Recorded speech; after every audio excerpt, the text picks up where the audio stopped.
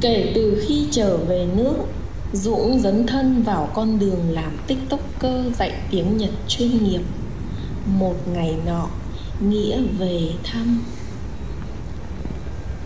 Anh Dũng ơi, dạo này em không thấy anh quay clip từ vựng học một nhớ ba mà anh hay in ra giấy á. Tại sao vậy anh? Em có biết không, Mãi nhà anh hết mực mà anh cũng hết tiền, em ạ. À. Vậy thì anh cứ dạy trực tiếp ở đây đi. Em rút điện thoại ra em quay, Rồi em up lên Facebook, top top cho các bạn cùng xem.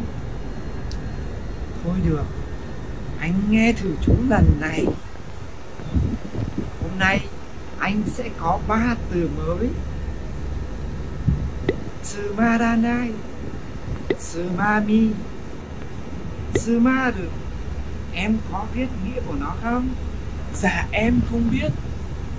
Sumaranai là chán Sumami là đồ nhắm.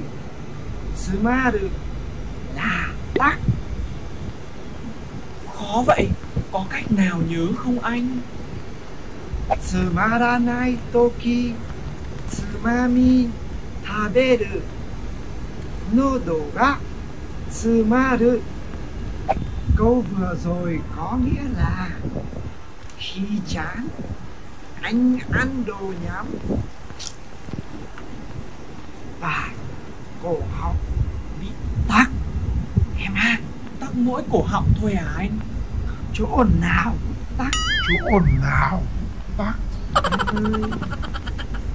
Dũng mơ Video này được lên xu hướng để nhiều fan hâm mộ quyên góp tiền ủng hộ Dũng và Dũng sẽ có tiền để mua mực cho máy in của mình. Rồi nhá. Chốt rồi một phát đi. Ok, rồi hết rồi đấy. Nhún đi, nhún đi.